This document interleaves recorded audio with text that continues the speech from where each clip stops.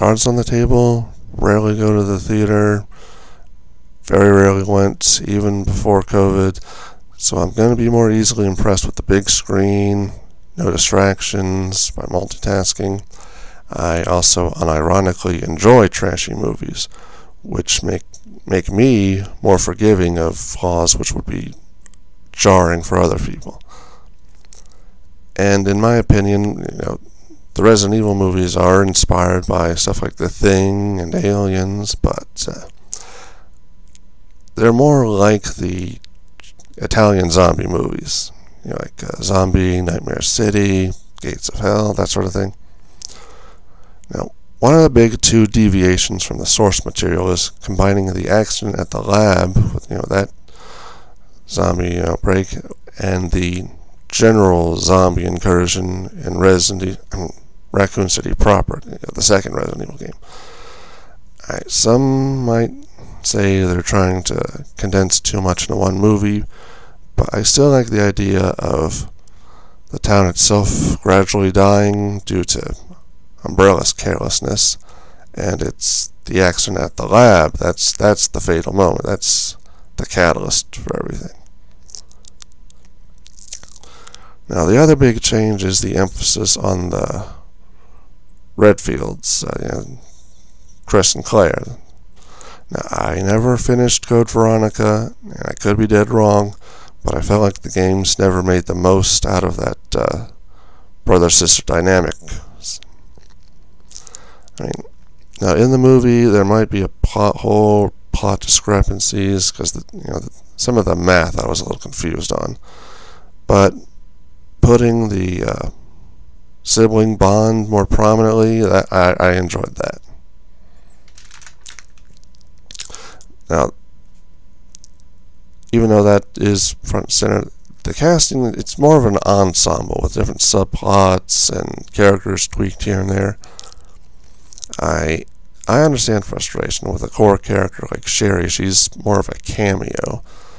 But with the uh, corrupt police chief, I think it helps the story flow better if he's just an expendable lackey and we omit that backstory. He's a serial rapist, among other things. I mean, Leon's characterization isn't flattering, and people aren't going to like that because they love Leon. But from my own memory, he was a dipstick in Resident Evil 2, and that's pretty consistent as far as I'm concerned. You know, it made him showing up as Resident Evil 4 a badass earn, you know, because he got hardened by those experiences in the past.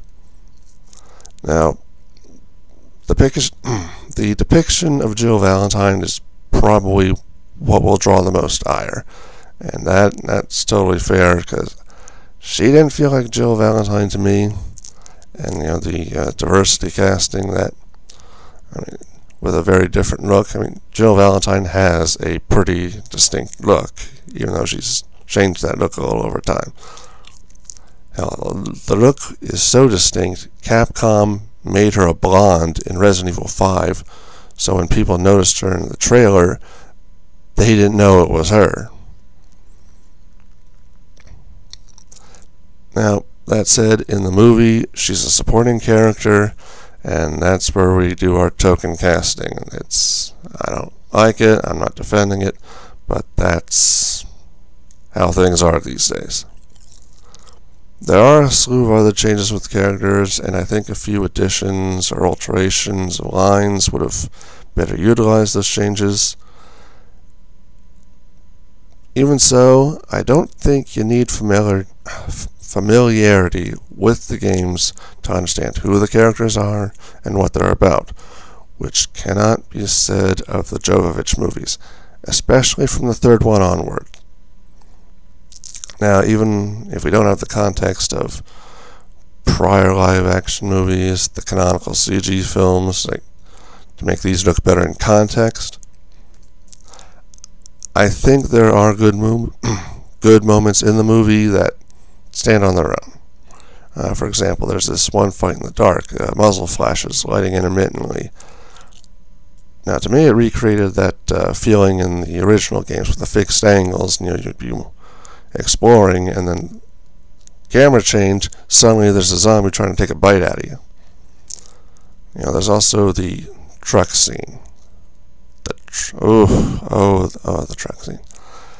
I refuse to believe anything so awesome and so stupid came from anything other than a place of sincerity.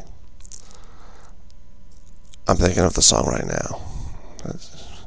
From that scene, it's just, ooh, oh, it's, mm, perfect. There was an unusual lack of editing in this uh, one uh, scene with a potential car accident, but the film was otherwise shot competently. Creature effects were neat. You had classic zombies. You also had the town folks newly turning and still had a little bit of lucidity. And I think it was generally unsettling listening to these people. They were too far gone, pleading and appealing to pity so they could beat, so they could eat you. Now, while this particular movie may not be the future of Resident Evil on film, over time I think it might develop a cult following. I mean, the critics, their complaints are correct for, for the most part. But I think trying to frame it in the context of wokeism isn't accurate. And, fellas, let's be honest, this is nowhere near the worst thing to happen to Resident Evil. Case in point, in the fourth Milla Jovovich movie, Wesker is killed in an over the top fight scene. Okay, that's fair fifth movie, it's, it's literally a filler arc. And Wesker is revealed to be alive again, which is ludicrous, but there is the promise of an awesome final battle, and we would like to see Wesker in such a thing. Sixth movie skips the big battle, screws around most of the runtime, and Wesker I shit you not. This the one of the big villains of the Resident Evil series. Wesker is killed by a fucking door. A door. He is killed by the Persona 3 protagonist.